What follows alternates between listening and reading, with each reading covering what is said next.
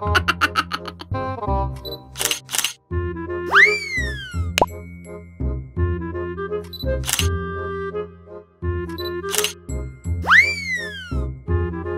Studio नाईनमध्ये आपलं हार्दिक स्वागत.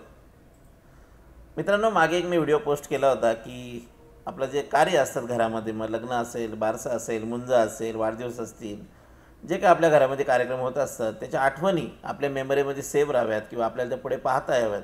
याच्यासाठी आपण एक फोटोग्राफर हा आपल्या कार्यक्रमामध्ये बोलवत असतो.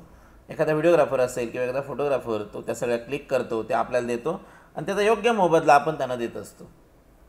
आता मागच्या माझ्या व्हिडिओचा विषय होता की हा जो फोटोग्राफर आहे हा का हा जो व्हिडिओग्राफर आहे याचं आपल्या मंडपातील आपल्या कार्यक्रमातील नक्की काय महत्त्व आहे? याच्यावर बऱ्याच जणांनी प्रतिक्रिया दिल्या होत्या. त्यातली एक प्रतिक्रिया अशी होती का माझे मित्र जगदीश पडवल त्यांनी मला कॉल केलेला की बाबा तुमचा विषय छान आहे.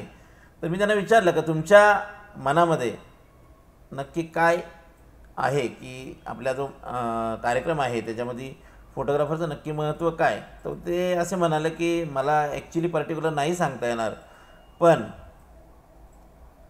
मी एक छोटंसं उदाहरण देतो जे त्यांनी कुठेतरी कीर्तनामध्ये ऐकलं होतं की एक कीर्तनकार आपल्या श्रोत्यांना समजावत असतो की परमेश्वर नक्की कसा असतो? तर त्यांनी एक उदाहरण सांगितलं ते तुम्हाला मी सांगतो. कीर्तनकार आपल्या श्रोत्यांना परमेश्वराचं महत्त्व सांगत असताना ते एक उदाहरण देतात. ते असं होतं की तीन लोक उभे असतात त्यांच्या डोळ्यांना काळी पट्टी बांधलेली असते जेणेकरून त्यांना पुढचं काही दिसायला नको. आणि त्याच्यासमोर एक हत्ती उभा करतात आणि त्यांना सांगतात का इथे परमेश्वर आहे. तर ती लोक पुढे जातात आणि हत्तीला हात लावण्याचा प्रयत्न करतात. पहिल्या माणसाचा हात हा सोंडेला लागतो आणि तो सांगतो की हा मला समजलं. परमेश्वर हा रस्सीसारखा आहे. एका दोरासारखा परमेश्वर आहे. दुसरा माणूस पुढे जातो आणि त्याचा हात पायाला लागतो. जेव्हा त्याला विचारतात का तुम्हाला तुला कसं वाटलं? परमेश्वर कसा असेल? तर तो सांगतो की परमेश्वर हा खांबासारखा आहे. आता तिसरा माणूस पुढे जातो आणि तो हत्तीला जेव्हा हात लागतो हात लावायचा प्रयत्न करतो त्याचा हात हत्तीच्या कानाला लागतो. तो सांगतो की मला असं वाटतं का परमेश्वर हा सुपासारखा आहे. तर असंच फोटोग्राफीबद्दलची बऱ्याच जणांची संकल्पना असते की नेमकं फोटोग्राफरचं महत्त्व लोकांच्या किती मनामध्ये आहे कशा प्रकारचं आहे हे सांगण्यासाठी अशा प्रकारची दुविधा लोकांच्या मनामध्ये सुरू असते. आणि हे सांगण्यासाठी बाबा नक्की आपल्या मंडपामध्ये आपल्या कार्यक्रमामध्ये फोटोग्राफरचं नक्की महत्त्व काय आहे? याचे काही थोड्याशा किस्से काही गोष्टी तुमच्यासमोर मी सांगण्याचा प्रयत्न करतो.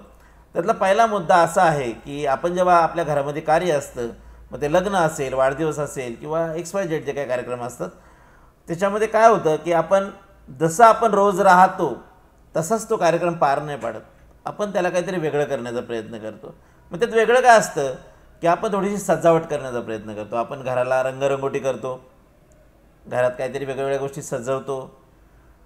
जिथे कार्यक्रम असतो किंवा आपल्या घरासमोरचा जे मोकळा भाग असतो ज्याला अंगण असतं किंवा रस्ता असतो त्याला एका मंडप डेकोरेशनला डेकोरेटरला बोलावून तिथं एक मंडप छानपैकी सजवण्याची त्याला ऑर्डर देतो. मग ती गेट असेल तर ती लायटिंगची सजावट असेल किंवा झुंबर लावले असतील किंवा काहीतरी तिथंशी मंडपामध्ये काहीतरी छानपैकी पडदे लावले असतील फुलांची सजावट केली असेल किंवा काही अँटिक पीस लावले असतील अशा सगळ्या सजावट आपण त्या कार्यक्रमापुरता करत असतो. त्याच्यानंतर काय करतो आपण जसं रोज राहतो तसेच कपडे आपण त्या कार्यक्रमामध्ये नाही करत आपण त्यासाठी स्पेशली डिझाईन करून घेतो. किंवा आपण छान कपडे खरेदी करतो महागडे कपडे खरेदी करतो आणि आपण त्या कार्यक्रमामध्ये घालण्याचा प्रयत्न करतो. त्याच्यानंतर आणखी पुढची गोष्ट कशी असते का आपण रेग्युलर जसं रोज राहतो तसं आपण लग्नामध्ये किंवा इतर कार्यक्रमामध्ये राहत नाही आपण स्पेशली मेकअप करतो. बहुतेकदा स्त्रिया या स्पेशली मेकअप करतात किंवा आपल्या केसांची हेअरस्टाईल करतात मेहंदी लावतात नखाना काहीतरी सजावट करतात किंवा आणखी काही डेकोरेटिव्ह काहीतरी करण्याचा प्रयत्न करतात जेणेकरून त्या कार्यक्रमामध्ये उठून दिसतील छान दिसतील. त्याच्यानंतर आपण आलेल्या पाहुण्यांची जेवणाची व्यवस्था करतो. मग आपण त्यांना डायरेक्ट जेवण जेवण्यासाठी असं डायरेक्ट घ्या ताट असं जेवायला असं करतो का? असं नाही करत. आपण ते जेवणसुद्धा काहीतरी सजावट करून काहीतरी तिथं सजवण्याचा प्रयत्न करतो. त्याची बसण्याची व्यवस्था करतो. जिथे आपण जेवण घेत असतो तिथं काहीतरी वेगळं करण्याचा प्रयत्न करतो. अशा अलग अलग गोष्टी आपण त्यामध्ये करत असतो.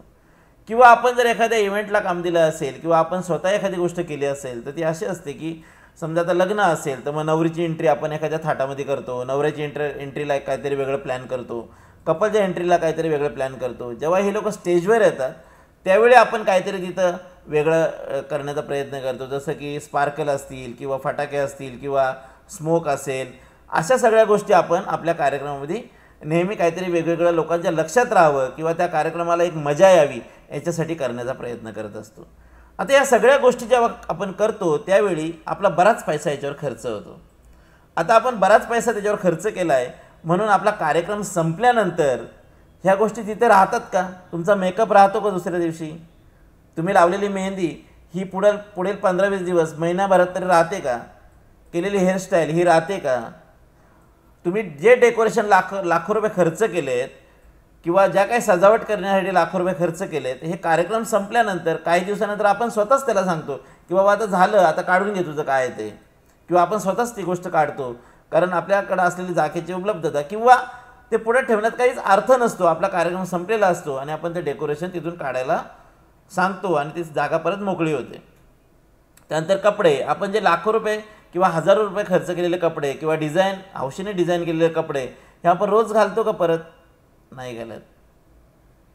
किंवा इतर ज्या सगळ्या गोष्टी आहेत या सगळ्या गोष्टी जेव्हा तुम्ही त्याच्यावर खर्च केलेला असतो छान दिसण्यासाठी किंवा तिथलं वातावरण निर्मि निर्मिती होण्यासाठी त्याच्यावर तुम्ही कितीही खर्च केले असले तरीही कार्यक्रम संपल्याच्या काही दिवसानंतर ती तुम्हाला जसे जशीच्या तशी पाहायला उपलब्ध नसते.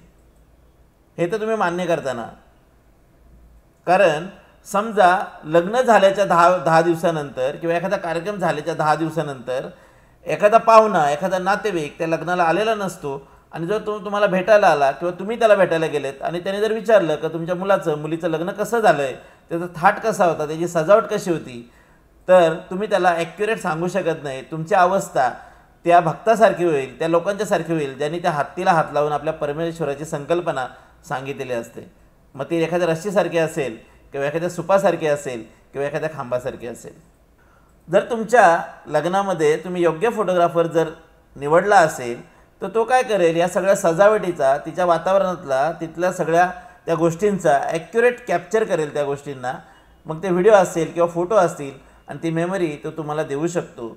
आणि जो माणूस तुमच्या लग्नामध्ये आलेला नसतो किंवा त्या माणसांना तुम्ही त्या लोकांना तुम्ही अगदी सहजपणे ते दाखवू शकता का आमच्या घरात जे कार्य झालं होतं लग्न झालं होतं त्या लग्नामध्ये अशा प्रकारची सजावट होती. अशा प्रकारचा आम्ही इव्हेंट क्रिएट केला होता. अशा प्रकारे नवरी मुलीने मेकअप केला होता. अशा प्रकारे तिच्या आईनी साडी घातली होती. अशा प्रकारे तिच्या भावाने कपडे घातले होते. अशा प्रकारे मी केलं होतं. हे सगळ्या गोष्टी तुम्ही जशा तशा लोकांना दाखवू शकता किंवा तुम्ही परत पाहू शकता. ही किमया ही गोष्ट फक्त फोटोग्राफी आणि व्हिडिओग्राफीमध्ये. तुमच्या आता लक्षात आलंच असेल का ह्या पहिल्या मुद्द्यामध्ये तुमच्या मंडपात असलेला जो फोटोग्राफर आहे त्याचं महत्त्व काय आहे? आता हे झालं पार्टीच्या बाबतीत. का पार्ट्यांनी ही गोष्ट लक्षात ठेवली पाहिजे? जे ज्यांच्या घरात कार्य असतं अशा लोकांनी ही गोष्ट लक्षात ठेवली पाहिजे का आपल्या मांडवातला फोटोग्राफर हा कसा असावा? आता ह्या मुद्द्यासोबत त्याच्या अपोजिट म्हणजे फोटोग्राफर म्हणजे जे कोणी फोटोग्राफर मित्र असतील किंवा व्हिडिओग्रा व्हिडिओग्राफर असतील त्यांनी ही गोष्ट लक्षात घेतली पाहिजे का जेव्हा पार्टी आपल्याला खणकून काम घेणार असेल आपल्याकडनं आपण त्याच्याकडनं त्याचे पैसे घेणार असू तर आपली एक जबाबदारी वाढते. का ह्या सगळ्याच केलेल्या सजावट आहेत त्या सजावट आपल्या कॅमेऱ्यामध्ये अलग अलग अँगलनी क्रिएटिव्हरित्या शूट करणं आपली जबाबदारी आहे. त्यांना त्या पुढच्या आयुष्यात पाहता यावेत. याच्यासाठी ते त्यांना कॅप्चर करून देणं आपली फार मोठी जबाबदारी आहे. त्याच्यासाठी आपण आपली प्रॅक्टिस आपले कॅमेरे आपली कर काम करण्याची पद्धत ही फार छान आणि व्यवस्थित असावी. त्याच्यामुळे तो फुटेज त्यांना त्यांच्यासाठी उपलब्ध होऊ शकेल. आपलं काम आपण फार जबाबदारीने करणं फार गरजेचं आहे. कारण आपल्यासमोर कितीही ॲक्टिव्हिटीज होत असल्या तरी जर ते आपल्याला कॅप्चर करण्याची आपल्याकडे आयडिया नसेल. तिचा अँगल कसा असावा? त्याची लाईटिंग कशी असावी? ते कसं शॉट आपण घेतले पाहिजेत? हे जर आपल्याला अनुभव किंवा आपल्याकडे आयडिया नसेल किंवा आपण जर आळशी असू तर ह्या गोष्टी आपल्या कॅमेऱ्याच्या क्लिक होण्यापासून चुकतील. आणि त्याचा आनंद हा पार्टीला कधीच घेता येणार नाही. तर आपली सु सुद्धा तेवढीच जबाबदारी आहे का आपण ज्या कार्यक्रमात जातो तो कसाही असेल कोणाचाही असेल पण आपलं फार आनंदाने मेहनतीने आणि क्रिएटिव्हरित्या त्या शूट करणं फार गरजेचं आहे. आपण जर आपल्या पार्टीला आपल्या कस्टमरला हा मुद्दा जर समजवू शकत नसाल की फोटोग्राफरचं तुमच्या मंडपातील काय महत्त्व आहे तर हा व्हिडिओ नक्कीच पार्ट्यांना शेअर करा. जेणेकरून तुमचं काम तुम्हाला करणं सोपं होईल किंवा तुमची जी मेहनत आहे तिचं व्हॅल्यू होईल. आणि ह्या गोष्टीचा नक्कीच अभ्यास करा की आपली जबाबदारी आहे आणि ॲज अ तुम्ही जर कस्टमर असाल तर ही गोष्ट तुम्ही लक्षात घेतली पाहिजे. का तुमच्या मंडपात असलेला फोटोग्राफर याचं तुमच्या ह्या मुद्द्यानुसार थोडंसं तरी महत्त्व तुमच्या मनामध्ये त्याचं वाढलं पाहिजे. धन्यवाद मित्रांनो. नक्कीच फोटोग्राफरचा सन्मान करा. तो नक्कीच तुम्हाला सन्मान देत असतो. आणि हा व्हिडिओ आवडल्यास आपल्या ओळखीतल्या लोकांना मित्रांना किंवा सर्व लोकांना शेअर करा. आणि तुमचा विचार या बाबतीत जर काय असेल तर तो कमेंट बॉक्समध्ये नक्कीच पोस्ट करा. किंवा आपला एखादा नवीन मुद्दा असेल किंवा याच मुद्द्याला अनुसरून जर तुमचा एखादा विषय असेल तुमचं काय एखादं मत असेल ते नक्कीच मला कमेंट बॉक्समध्ये तुम्ही पोस्ट करायचं आहे किंवा माझ्या नंबरवर nine double two zero nine one four two one five या नंबरवर व्हॉट्सअपला किंवा कॉल करून तुम्ही सांगू शकता. मी तुमचा विचार नक्कीच लोकांच्या परत तुमच्या नावासह पोहोचवण्याचा प्रयत्न करेल. आणि हो परत एकदा सांगेल की तुमच्या मंडपात असलेलं फोटोग्राफरची एक व्हॅल्यू आहे. ती तुम्हाला पुढे पाहता यावी अलग अलग मुद्द्यातून. तर नक्कीच या चॅनलला सबस्क्राईब करा. असे व्हिडिओ तुम्हाला पुढे पोचावे त्याच्यासाठी बेल आयकॉन दाबायला विसरू नका. आणि तुमच्या सर्वांचं पुन्हा एकदा धन्यवाद.